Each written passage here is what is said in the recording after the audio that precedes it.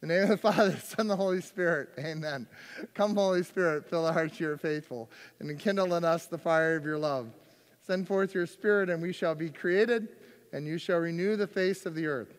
Send forth your Spirit upon us this day, O Lord, as we uh, talk about the role of reconciliation in our growth in our spirituality, in our spiritual life. We ask this through Christ our Lord. Amen. Father, Son, and Holy Spirit. Amen. Uh, for those who are going to be viewing this afterwards, I just uh, was doing a sync to clap, and uh, they all thought it was like Pavlov, so everyone needed to clap. So I hope it's the same way with this talk about reconciliation, that after I talk about it, you feel like you need to make it a deeper part of your life today, okay? Uh, so, what I want to talk about in terms of reconciliation is almost immediately, as Catholics, because we're a sacramental people, we immediately think of the sacrament of reconciliation. We immediately think of confession, of penance. But the role of reconciliation in our spiritual life, in some ways you can say it only begins as Catholics with the sacrament of reconciliation. It's to draw us into a, a deeper minist, uh, uh, understanding of reconciliation. It's, uh, as a sacrament, it begins a process of reconciliation in our lives and in our world. And so, we, if we want to understand how do we grow in our spirituality, how do we grow in our relationship with God, we have to understand what is the role of reconciliation in our life, in our, especially in our spiritual life. Um, so, reconciliation, what does it mean? It's about the healing of relationships. And traditionally, uh, when we talk about the sacrament of reconciliation, particularly, we talk about three relationships that it heals. It heals our relationship, obviously, with God. It heals our relationship with ourselves because we damage our very identity as human beings when we sin. And so, uh, and so many times people really struggle with that. You know, they, they come back to the sacrament of reconciliation and they try to confess the same sins that they confessed before because they haven't yet let the sacrament heal their relationship with themselves. They're, they still feel like they're carrying the guilt. I never let somebody do that, by the way. Now, I, I let them confess that they haven't believed in the forgiveness of the sacrament of reconciliation in the first place. And so that's the new sin that they've done. But I don't let them confess the old sin because that is forgiven. The other thing about the sacrament of reconciliation, the other relationship that it heals is our relationship with the community, which is why every sin can never be seen merely as a private act. Even if you think no one ever will find out about it, and it's just between you and God, first of all, that's a mistake because at the end of time, everyone is going to know every one of our sins. You can, if you don't want that to happen, the only place to hide from it is hell. But if you want to be in heaven, you have to allow everyone, of, uh, everyone to see every sin you ever made. Why? Because they also need to see how God reconciled you. It's not about your sins, it's about what God does, how God reconciles the world. And that's one of the jobs of heaven is to see the glory of God that has happened in space and in time. And so reconciliation always has this communal dimension. We can never say it's just between myself and God. Because when I sin, I harm the church. Now, I'll give you an example of that that seems obvious which is uh, the priest uh, sexual abuse scandal. Hasn't that harmed the church? Now that they could say, somebody could have said and, and justified it to themselves, no one's ever going to hear about it. Now, obviously, that's not true, right? But why is that sin any different from any sin you have ever done. And the reason it's not, it's just that you've hid it better than other people. There are all sorts of sins. And every sin is an infinite offense against God. Okay, let me repeat that. Every sin is an infinite offense against God. That's why we can never reconcile ourselves. No matter what we do, no matter how many prayers we pray, no matter how sorry we are, on our own, nothing we can do can reconcile ourselves with God. All we can do is prepare the ground. It's all up to God. Now, the thing is, we don't have to convince God to reconcile us. That's his very essence. That's what he wants to do with all of us. So we don't ever have to be unsure that, well, is God going to forgive me? Yes. It's his very nature to love. It's his very nature. God is mercy, is the, the title of, of Pope Francis's new book. God's name is mercy. So it's God's very nature to reconcile us. What's our job? It's to create the conditions that will allow us to accept God's forgiveness. It's to create the conditions where we know we need God's forgiveness. How many times, I can't tell you how many times I get somebody who hasn't been to confession in 20 years. And they lead off with the fact that they haven't killed anybody. Yay! Good. I haven't done much wrong. Okay?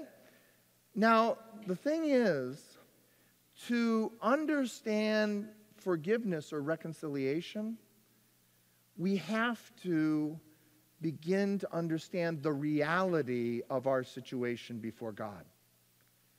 And one of the things that we are experts in is hiding ourselves from ourselves. We are experts in justifying our actions because to do otherwise means we have to change. We don't like change. Not just this parish of St. Bede. If you try to change anything, they rear up. It's not just this parish, it is the human condition. We don't particularly like change. Now, we might say we want other people to change. That's the change we want but we don't necessarily understand or find it helpful when all of a sudden we're confronted, I need to change, because that can become uncomfortable. So the healing of relationships also needs a conversion of heart. Reconciliation is about a conversion of heart and a new beginning. It's all of these things. And so, in reconciliation, in terms of the spiritual life, a new beginning talks about the basic steps, right? To grow in the spiritual life, we have to understand that we're doing in the spiritual life one of two things. Either we're growing in the spiritual life, heading in this direction, or if we're not growing the spiritual, spiritual life, we are not standing still. If we're not growing in the spiritual life, we are regressing in the spiritual life. That's a truth, okay? You can't stand still in the spiritual life. You can't hold your own and say, This is the level that I want, and I'm just going to stay right here because I'm comfortable here. To do that, because God is saying, Come deeper, come deeper, if we stand still against God's call for come deeper, then we really, even though we think we're standing still, we're heading in this direction. And so reconciliation is needed in order to have a metanoia, a turning around, a change in direction. And so reconciliation is in the spiritual life is always one of the basic things. It's always one of the starting blocks. It's, it's the foundation floor of growth in the spiritual life. Um, so we can't grow if we're not yet healthy. Okay? What I mean by that is we have to have a healthy self knowledge. Where does that begin? That healthy self knowledge begins in prayer and meditation. It begins, it might begin, now God might, you know, clonk us over the head. Hey, wake up. You know, I, I always say God, uh, God never uh, forces us to follow him, but he might knock us up the side of the head so that we say, pay attention, okay? And so God uh, might put into our lives this invitation, something in, in our life where we become unsatisfied with where we are. By the way, in Alcoholics Anonymous and in all of the 12 step programs, it, uh, it relies on the fact that life has become intolerable and so you have, you know, the talk about reaching bottom. And so that you have to make a change. Bill W. got that from Jesuits who understood the nature of sin. That growth in the spiritual life, we are confronted by our sin and we say, This situation is intolerable. But you remember how you can kill a frog without him uh, resisting it? You put him in cold water and you slowly turn it up. And they die without resistance. They'll never try to get out of the water. And that can be our situation. We can be so blind to our situation, where we are, when our life, when we're not reflecting, when we're not in prayer, when we're not in contact with God, when we say, you know, we're, we're about all the diversions of our life television and books and shopping and all the things of our basic life, and we don't take any time to reflect on what our life is really about, then we can't come to any sort of self knowledge and literally, we die in the midst of those diversions without ever knowing ourselves. Reconciliation is not about beating yourself up, it's about escaping a false sense of self. And so we begin reconciliation by in prayer and meditation. So it's the very first place the more we pray, the more we begin to know who God is. The more we know who God is, the more we know ourselves. And God's merciful love. See that we can we're, do not be afraid. You know, some people are afraid to go deeper because they won't like of what the image of what they see. But God says, don't be afraid. Remember the, the gospel today. You know, uh, the call of Matthew happened before Matthew did anything. The call of Levi, Matthew, happened before he did anything. Jesus had mercy upon him and chose him. He healed him at the same moment that he called him. By the way, that is exactly what Pope Francis has taken as his episcopal and his papal, uh, um, his papal um, uh, motto having mercy, he has chosen. So we can't say that we need to get ourselves all together so God will love me. No. He's chosen you. He's chosen you in baptism. He's chosen you uh, in the fact that you're here today. He's chosen you in the reception of the Eucharist. And that means He's already had merciful love upon you. So God never gives up. He's constantly calling us deeper and deeper. So, uh, what I would um, like to do is I'm going to go through the first three mansions of St. Teresa of Avila today in a very summary fashion to understand how reconciliation plays a role in the spiritual life. St. Teresa of Avila wrote the uh, interior castles as a way of explaining the, uh, the spiritual life in a way that was very um, common for people. There were castles, there's lots of castles in Spain. We don't see many castles, okay?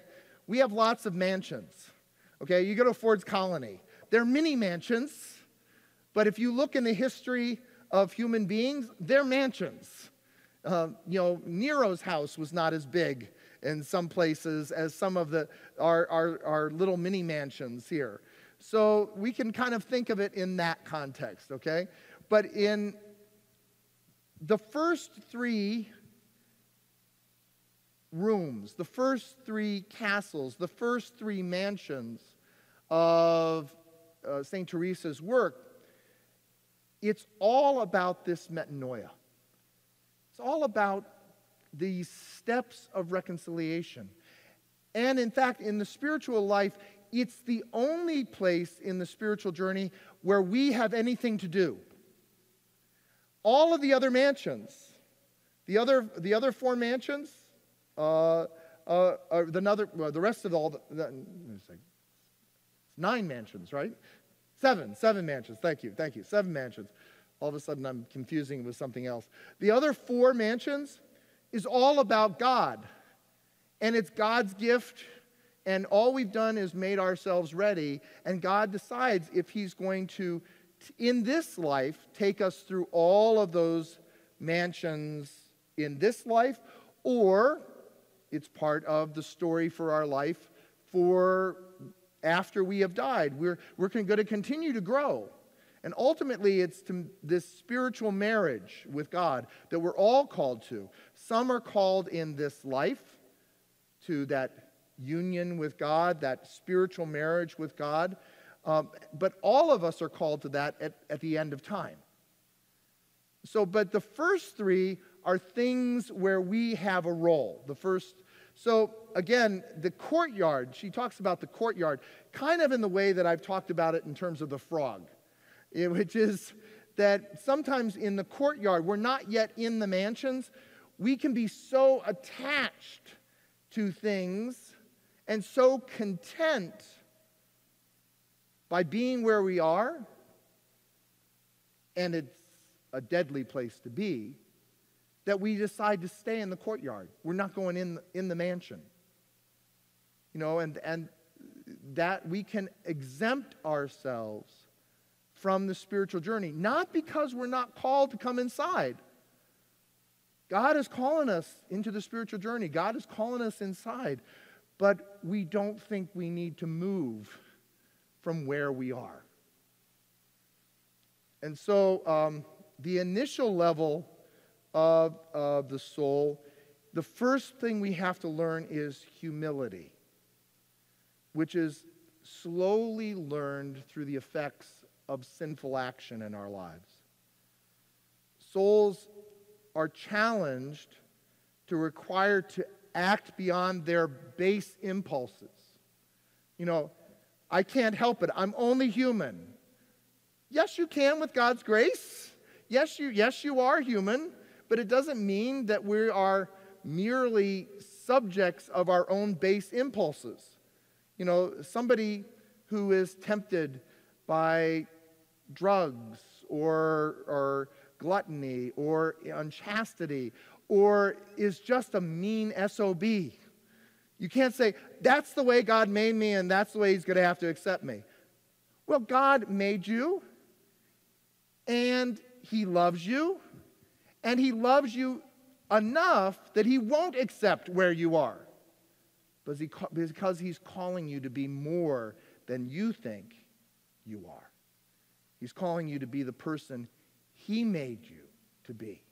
And so that's one of these relationships that have to be healed. There has to be reconciliation, but there can't be reconciliation. Again, remember what's the, if we don't know what the sin is. Remember what Jesus talked about? The, the only sin that can't be forgiven is the sin against the Holy Spirit. Well, almost all interpreters of that understanding, it doesn't mean a blasphemy against the Holy Spirit. It doesn't mean uh, that uh, some secret sin that we don't know about, that's kind of a mystery. The sin against the Holy Spirit, almost everyone as we've understood it, is that there is a sin in my life that I either won't or don't let God forgive. I either I say I justify it to myself and he says this is not a sin, so therefore I'm not, even though everything in our Catholic, our Christian tradition says this is an inherently evil act, but I see some particular good in it for me, and therefore I say, but I don't think so. Well, God can't forgive that if we don't let Him forgive it. If we understand that we're sinful, and that we're, we're um, you know, at a point where this is something that's so wrong, but through shame, we don't go to the Lord. He can't forgive that. By the way, what happens when we have shame about a sin and we don't go to the Lord? We end up becoming judgmental and defensive. Don't you tell me that this is a sin, whereas we know in our heads it is. But to admit that means we have to change, and we're not willing to do that. Well, what happens? Um, uh, Teresa's inspiration for her imagining of the soul as if it were a castle made of a single diamond or a very clear crystal in which there are many rooms. Just as in heaven there are many mansions.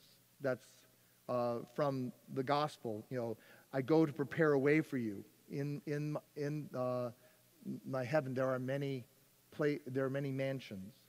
Uh, these dwelling places we're going to visit in brief. Now, the first mansion is the initial life of the soul, um, uh, is like that uh, courtyard, but then we step into it and with some sort of honest desire, uh, through prayer and meditation, through, some, through honest desire, we need to change.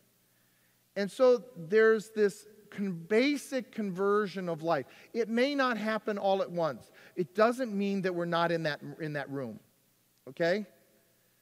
But we've got to deal with these base sins. We've got to get our life in order we can only do it with God's grace, with deeper prayer and deeper meditation. Okay, the first prayer and meditation was simply to know who we are so that we can enter into it. The second level of prayer and meditation is to realize I can't do this without God's grace. And we're called to this reconciliation with God, again, as a basic uh, way of getting our life together. So, if there are habits of sin, if there are certain constants of sin, we've got to work on those, okay? Um, and we need for, for, regular prayer to stave off our old ways. It's not about, and this, this happens to people all the time. I, am in the spiritual life. I know I'm struggling with this prayer or, or this, uh, I'm struggling with this particular sin and I, I kind of get my life in order through this, these regular practices of prayer. And guess what? I think I got it licked. And therefore, I can stop doing all that stuff that I was doing before. Sweeping the man, sweeping the room clean of the one devil as he's left the door to make room for seven of his friends to come in. And so, not only do we, when we, we need prayer to be faithful, but we also need prayer, which is part of the next step, uh, which is to not start canonizing ourselves just because we've gotten rid of the base sins. Okay? Gee, God, you know, I, I must be ready for spiritual marriage right now. I've gotten rid of all of those, those base sins in my life. No, God is just beginning with us. And so, as they move into uh, uh, let's see, we, we start to get a real first taste of what it means to love God when we're in that first mansion. In terms, and we begin to understand the, the cross in a different way. Um, and this is part of the second mission. So we now we were this, in terms of this reconciliation, we start looking at our lives and saying, where do we spend our time? Where, you know, is God really our God? Does our life really evidence that? What do our pastimes look like? Pope Francis talked about this, especially to priests. He says priests need recreation, but your recreation should feed your ministry. It should, it should, it's not about, I find, you know, my recreation is my work. No, that's not what he's talking about. But he's talking about you sh- you're, you're called as a priest to the spiritual life. You're called to, um, um, to um, grow deeper in love with God. And so, if your recreation is so opposed to the spiritual life, then it's like you're living two different lives. So, we're, we're called in this second mansion, not just we've gotten past the, the major sins, but how do we spend our lives? How are we growing in love with God in all the aspects of our life. Doesn't mean if you, if you love the beach, you can't go to the beach. But at the beach, allow the natural uh, meditative quality of the ocean to touch you. You know, not just, you know, having a Bloody Mary and sitting out and soaking up the sun. Uh, although, I mean, that can, that can be a nice thing too. But bring it to meditation, bring it to, bring it to prayer. Um, this is a crucial com- point. Um, the devil tries us to m- make us believe that material things and relationships are of eternal nature and all important. What confusion the devil, this is a quote of hers, what confusion the devil brings about in the poor soul and how distressed it is, not knowing if it ought to proceed farther or return to the room where it was before. Okay, all of a sudden we might, in this second mansion, might say, you know, this is changing how I'm living. This reconciliation with, with God is, is getting a little uncomfortable because he's asking me for something more. Maybe I should just go back and just be an ordinary Christian. You can't stand still. You either are going into the other mansions or you're going out, not into the first room, but back out into the courtyard. Um, through prayer, be, you, you become a, more able to resist these temptations. And there's an even deeper sense of God's love and a more willingness to enter into suffering for others. The third ma- uh, mansion uh, that we talked about, or the, that she talks about, is uh, we may be perceived at this point as being good by others.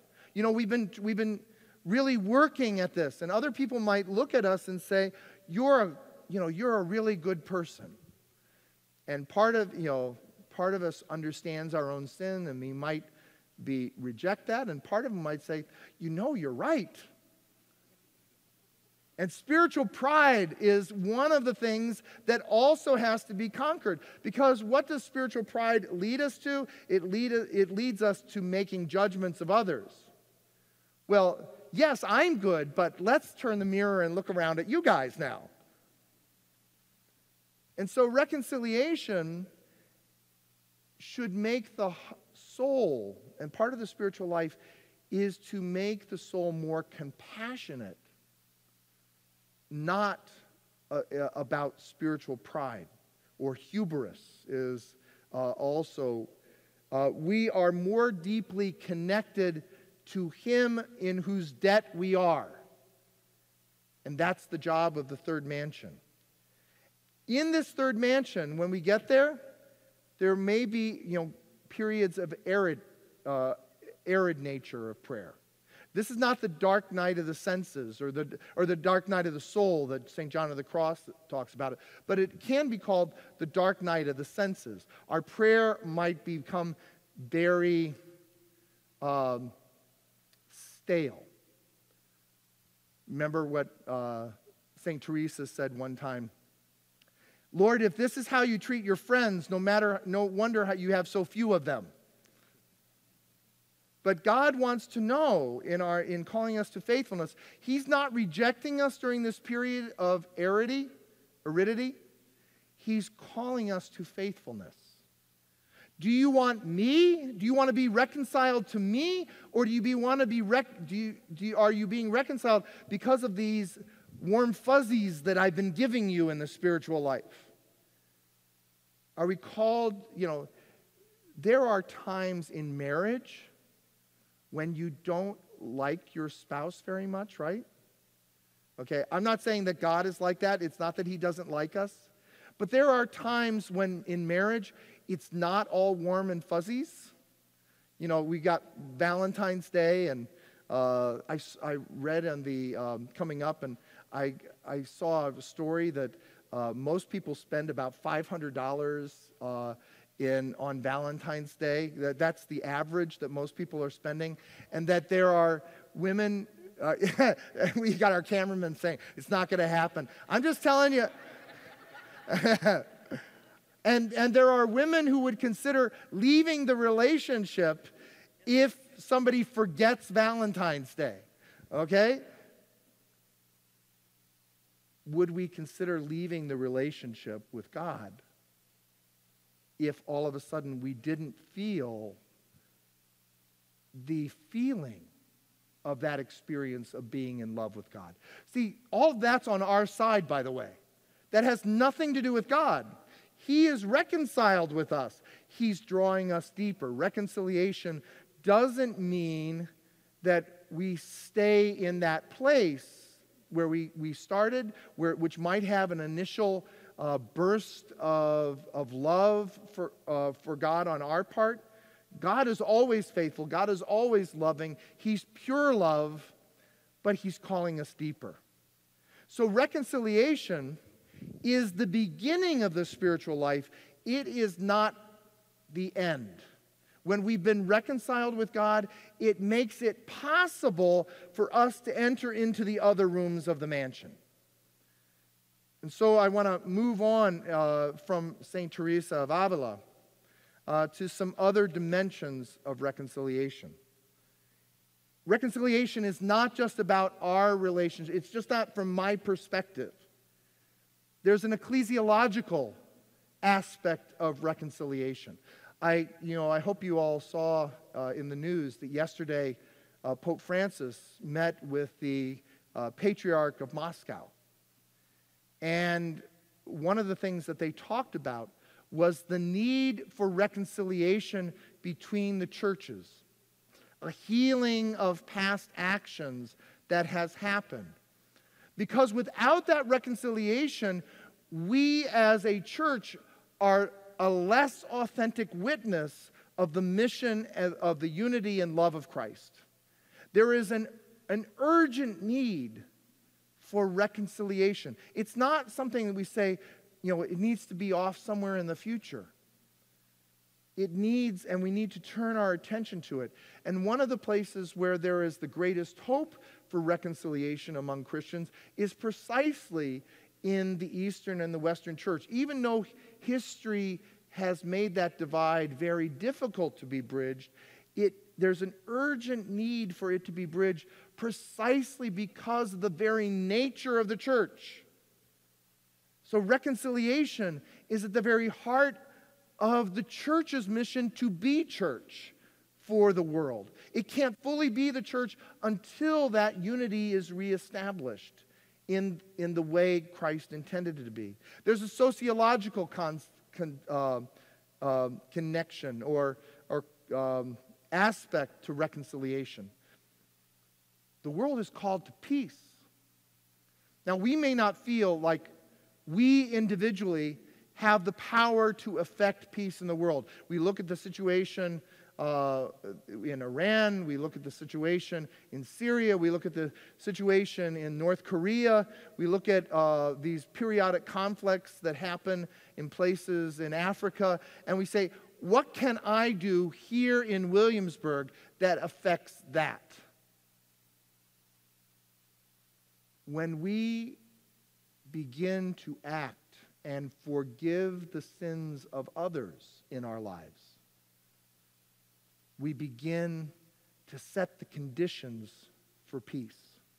One of the corporal works of mercy, the spiritual, I'm sorry, this is one of the spiritual works of mercy that we're concentrating on in this uh, March and, uh, and uh, February season. It, we're doing it together. We're kind of lumping the two together. Uh, we're looking at admonishing the sinner. That's one aspect to, to, draw, to draw people back to reconciliation, but also to forgive those who have sinned against you. That's one of the corporal, the spiritual works of mercy. And in doing that, we begin to set the conditions for peace in the world. Now, ultimately, peace in our world is an eschatological reality, an end time reality that only Jesus can fully implement here on earth. But that doesn't mean that he's not calling us as a people to make this a part of our work to make that second coming propitious you know, to, to be prepared for that second coming of the peace of Christ in the world. Just as the Anawim, the poor of God, by being faithful to the gospel, by being faithful to the covenant, prepared the way for Jesus' first coming. You know, he came at the, in the fullness of time, at the appropriate time at a time when people were willing to listen. And we look at what happened um, at, in the aftermath of the, the death and resurrection of Jesus. And it seemed like it was a failure, but it became this enormous success as the mission went forward. What's this? In the same way as we prepare for the second coming, we have a sociological reality to our reconciliation. We're not just called to be receivers of reconciliation. But by identifying ourselves with Christ, we become the instruments of reconciliation and peace. There's a, a liturgical understanding of reconciliation. And what I'm going to, the sacrament I'm going to uh, point you to, the liturgy that I'm going to point you to, is not the sacrament of reconciliation. It's the Mass.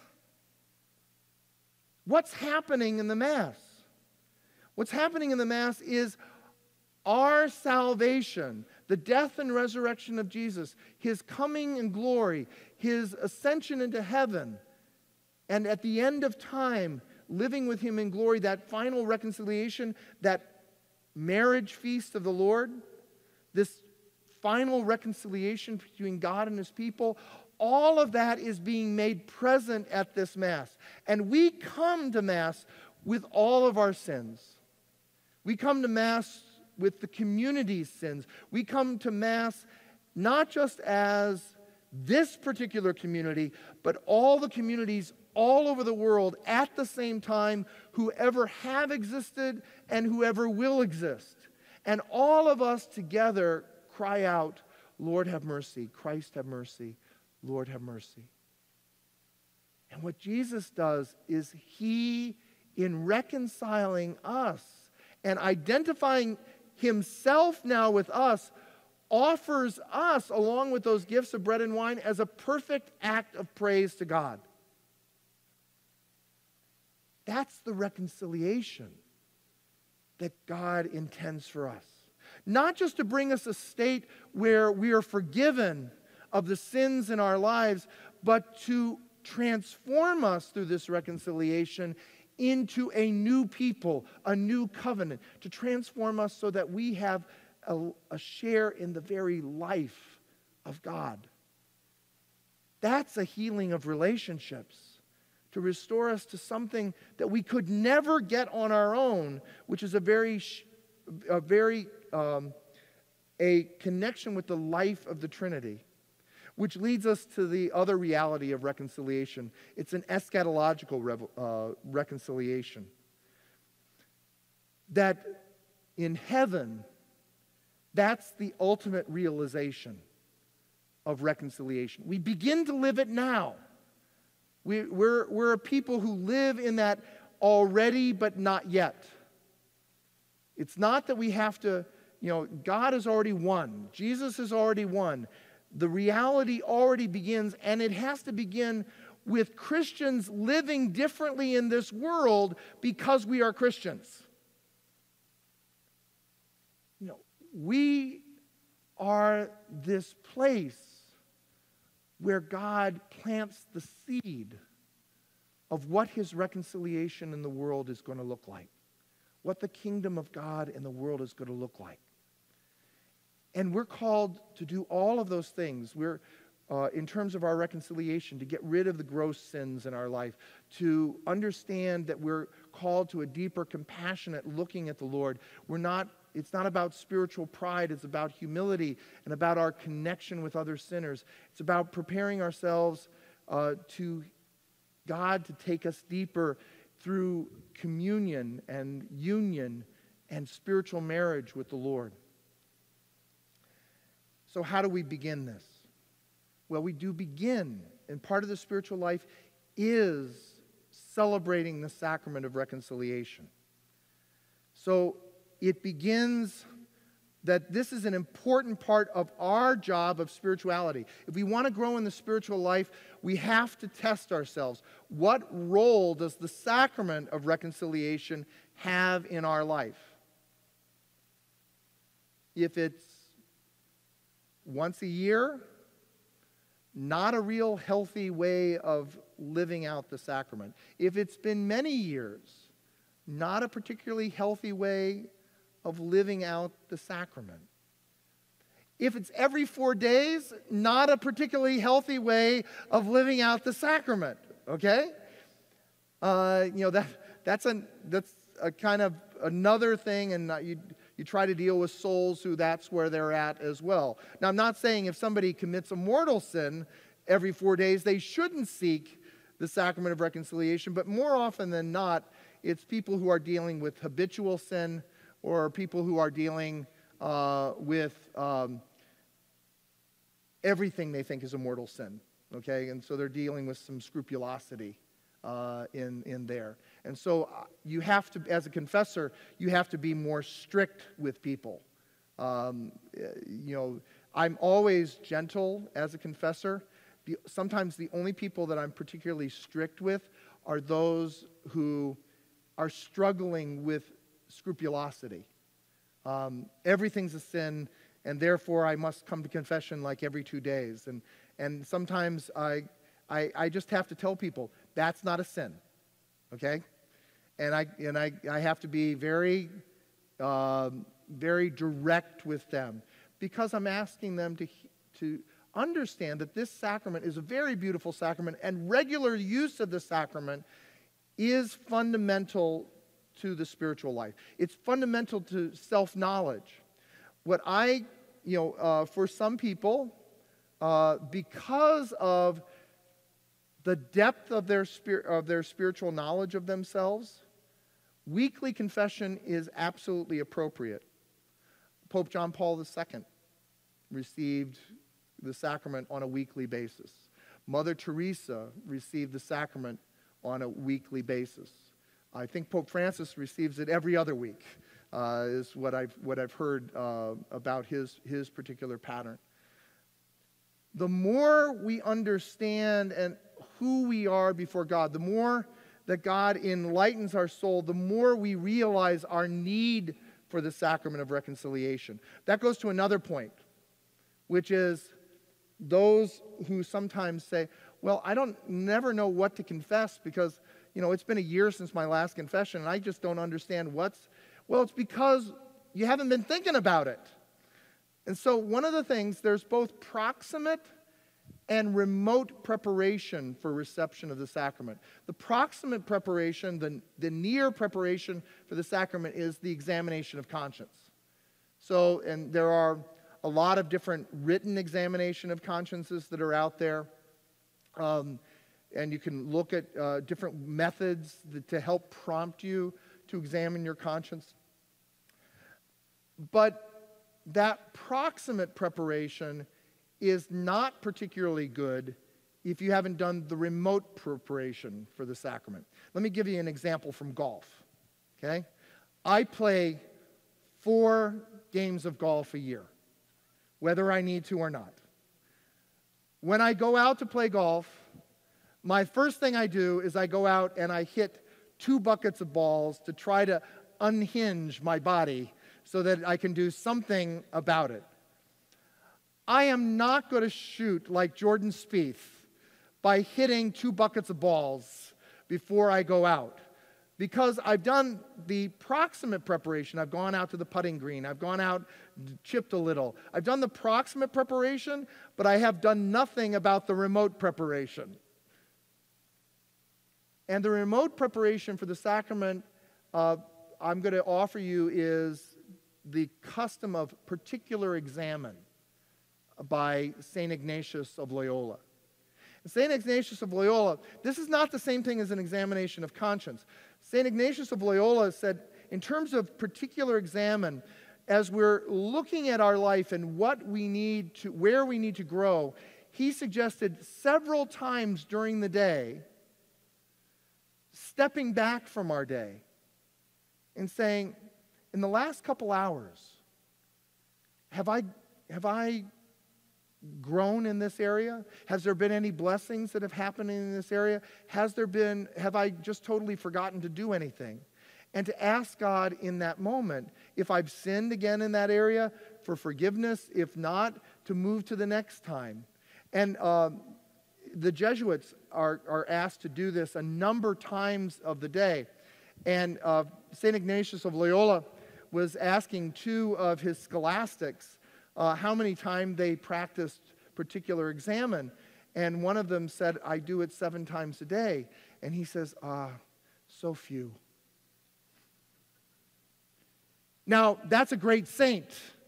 I'm saying begin at least one time a day, at least at the end of your day, looking at the blessings, looking not just at, at, at where I've fallen, but look at the blessings of your day, where you've cooperated with God's grace, where today you've grown in faith, but then also look where you still need to grow and where you've fallen. And ask for the God's grace that the next day you might allow His grace to change you and to grow in that grace.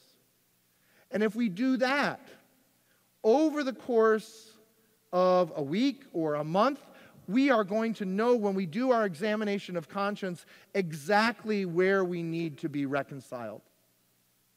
I also want to bring one more thing, which is sometimes we can get frustrated or discouraged because we're bringing the same sins to the Lord. First of all, remember, He's the one who said to Peter, How many times do you forgive? As many as seven times? No, I tell you, 70 times seven times. Seven was the perfect number, and what he was saying was an infinite number of times. God is a God who loves us in an infinite way. And so never be discouraged to come again and again and again. It's not about presumption, it's about continuing to allow God to work with us. But also remember this that we're not done in the spiritual life when we've been reconciled. Because ultimately, also remember from the Gospels the story of the prodigal son. It's improperly named, that parable. The parable, as Jesus intended to be understood, is the parable of the forgiving father. Because it's not just about the son. Remember, the one, the one who's being forgiven, the one who's being brought forward, is not just the prodigal son, it's also the older son. The one who is the, the one forgiving, the one who is the center of the parable, is the father. And so we're called, in terms of our spirituality, to be for the, after we have been forgiven, we're to take on the, the way of forgiving that the Father forgives. How does the Father forgive? Forgives? It's not about forgiving somebody before they're ready to be forgiven. But all they need is this little mitt. The Father is there watching, waiting and when he sees somebody ready to make any kind of reconciliation, any kind of move to reconciliation, even if it's not perfect, even if it's still looking at himself, I'm hungry, I'm, you know, I'm without clothes, I'll go back to my father's house and I'll, you know, even the servants there got treated better than, than I'm treated. And I'll just say, I'm not worthy to be treated as your son. Treat me as one of your servants. Even if that, that son didn't understand what God wants to do in terms of reconciliation or the father, the father takes that little bit and says, That's enough for me. And he rushes to restore him to sonship. With God's grace, that's the kind of reconciliation after we have received it that we're to bring to the world the Father's love. So I invite you, as part of your own spiritual journey, to make reconciliation your starting point. If you want to grow in the spiritual life, begin here because God wants to take you through reconciliation to an even deeper, deeper and deepest relationship with Him. In the name of the Father, the Son, and Holy Spirit, amen. Glory be to the Father, and to the Son, and to the Holy Spirit, as it was in the beginning, is now, and will be forever. Amen. In the name of the Father, the Son, and Holy Spirit, amen.